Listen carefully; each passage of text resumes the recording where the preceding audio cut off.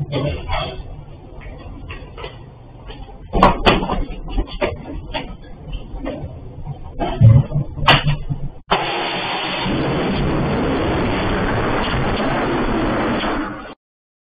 beredar video seorang pria membawa baterai motor ke dalam lift dan tiba-tiba baterai mengeluarkan api dan meledak malangnya pintu lift sudah tertutup dan Pria tersebut terjebak dengan ledakan api memenuhi ruangan lift saat pintu lift terbuka pria lain melihat seseorang di dalam lift yang sudah penuh dengan luka bakar tidak diketahui pria yang terbakar di dalam lift itu selamat atau tidak. Walaupun terlihat korban masih bergerak dan beberapa tenaga medis berdatangan untuk menolong korban.